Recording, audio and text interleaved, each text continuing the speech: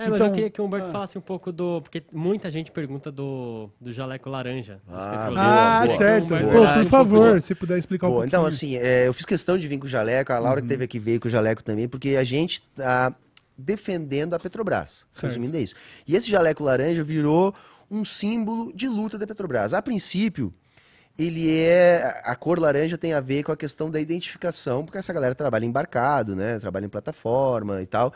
E, e a ideia, que inclusive foi uma luta dentro do, do Sindicato dos Petroleiros pelo laranja, por uma questão de segurança, né? Certo. Se alguém cai no mar, é mais fácil de ser é, visto e ser resgatado.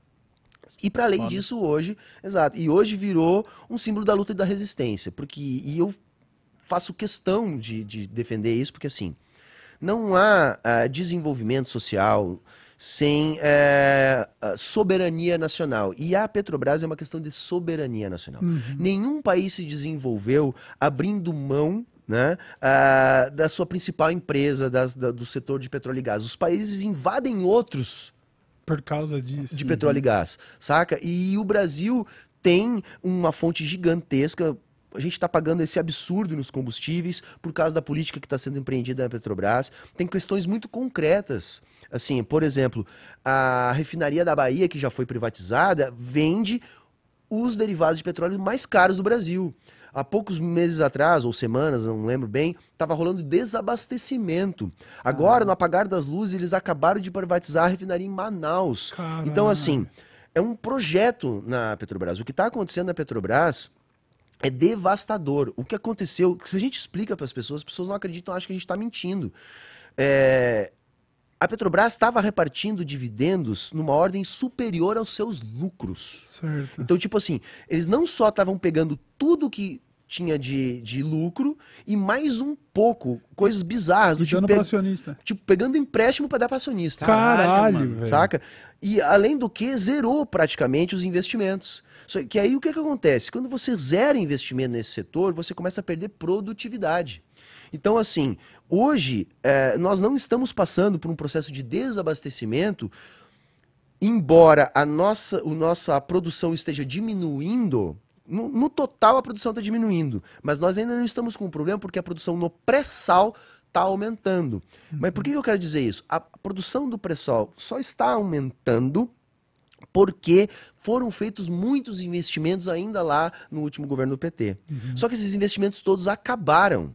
Por quê? Porque o processo é o seguinte: nós vamos dilapidar a Petrobras, vamos inviabilizar ela para justificar a privatização. Que é o sonho dourado dessa galera, Nossa. saca? É privatizar. Então, assim, é, eu acho que é dever de todo brasileiro, trabalhador, trabalhadora, é defender a Petrobras.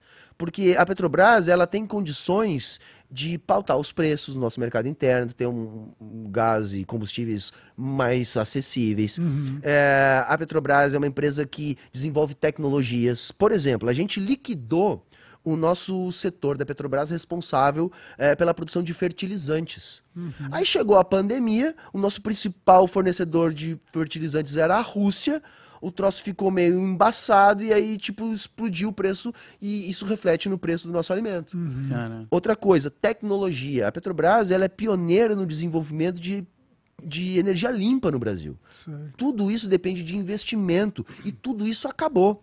Então hoje assim, não tem investimento em tecnologia de geração de energia limpa. Não tem mais a, a cadeia produtiva. A Petrobras ela tinha um dos grandes orgulhos era produzir, né, do poço ao posto, né? Uhum. Ou do poço à bomba.